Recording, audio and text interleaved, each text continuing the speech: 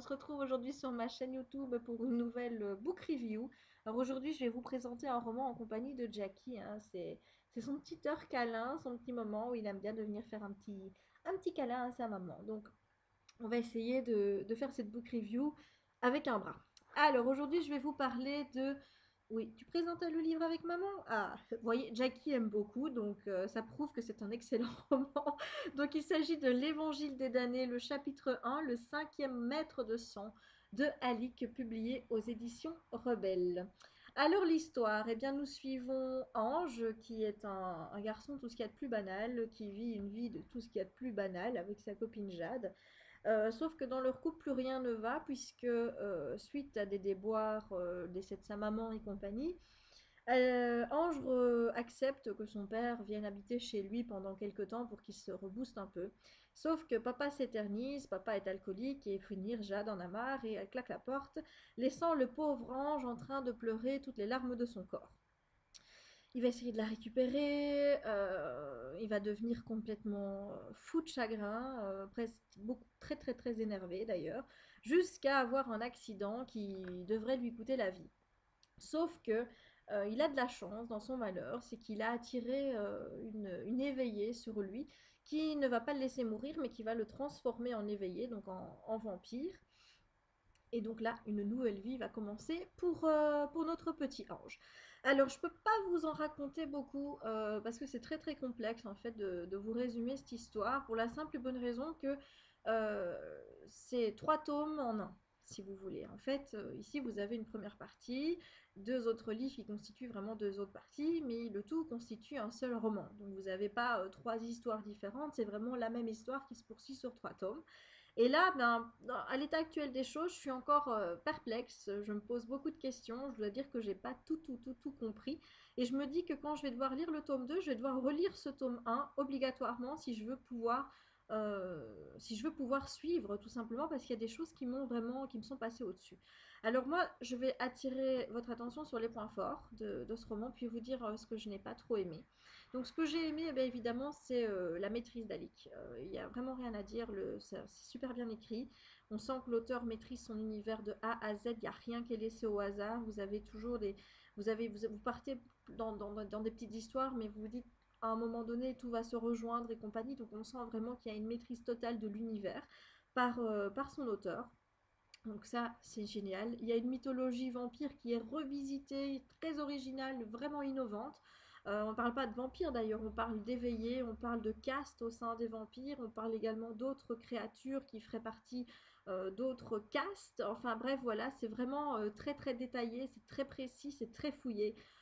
Mon problème, c'est que c'est trop brouillon. C'est-à-dire qu'au moment où on m'explique les choses, à part peut-être si je prends des notes, moi je ne suis pas, je, ne comprends pas, je m'embrouille.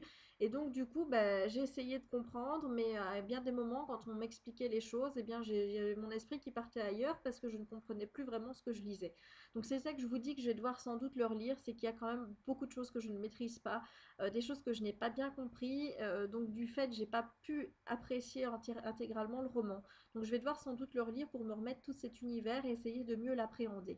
Voilà, mais il faut que vous, bien que vous, vous disiez quand vous lisez ce bouquin, que euh, vous rentrez pas dans une mythologie très facile, euh, qui va être euh, simple et compagnie. Non, non, c'est tout un univers qu'il faut vraiment qu'il faut vraiment prendre le temps d'appréhender, de, de, comprendre. Et donc, c'est une lecture qui peut être très, très, très, très intéressante si on suit tout.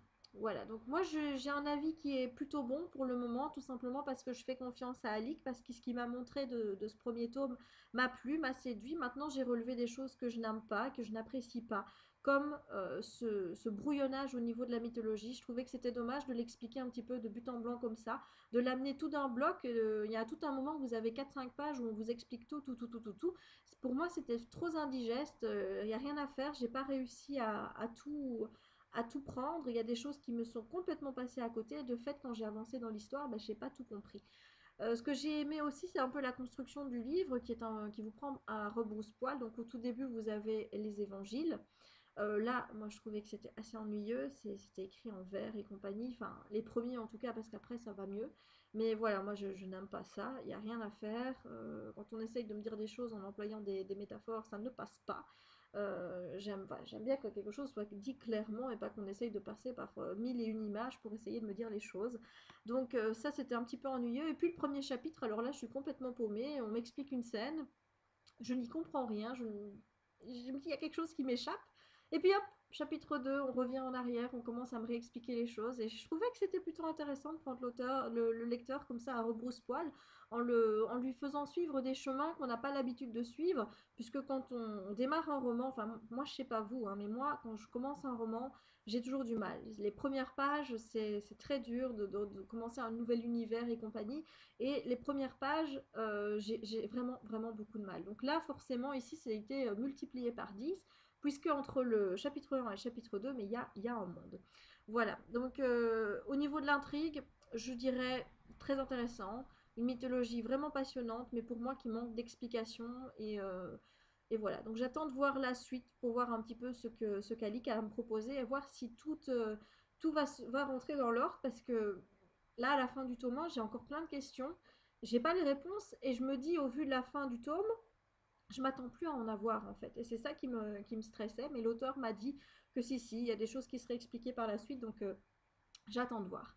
Alors, euh, au niveau des personnages, là, c'est gros point noir, mais je le retiens pas contre l'auteur en fait. Hein. Il a voulu faire son personnage comme ça. Euh, c'est un personnage qui peut pas laisser indifférent. Ange, je pense que soit on comprend, soit comme moi, on le comprend pas du tout. Mais c'est un personnage qui est très très très intéressant. Euh, dans sa construction et compagnie, mais moi j'aime pas du tout. J'aime pas du tout parce que Ange, pour moi, c'est une lavette. Il n'y a rien à faire.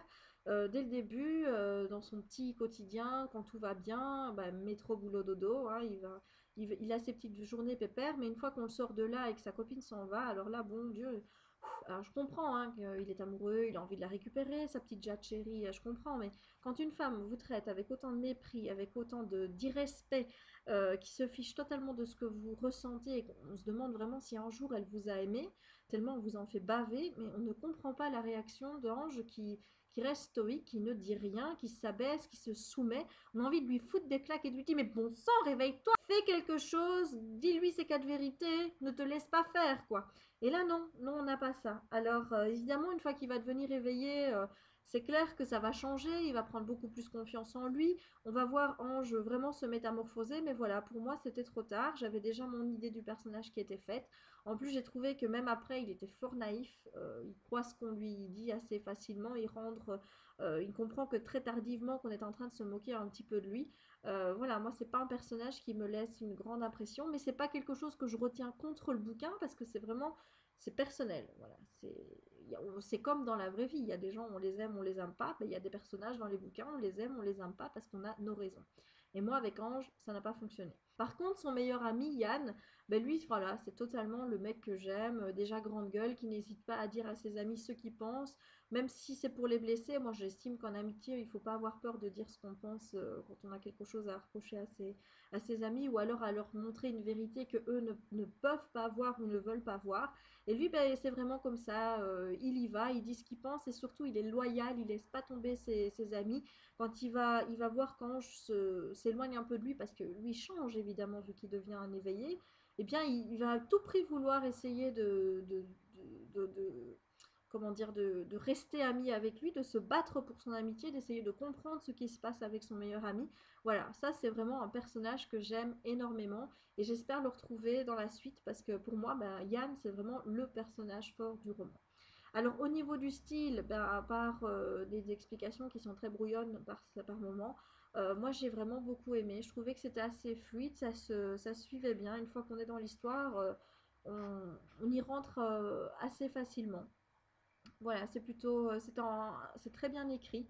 Euh, y a, les descriptions sont pas plombantes. Enfin, moi, je me suis pas ennuyée au niveau du style. En tout cas, j'ai pas eu de, gros problèmes.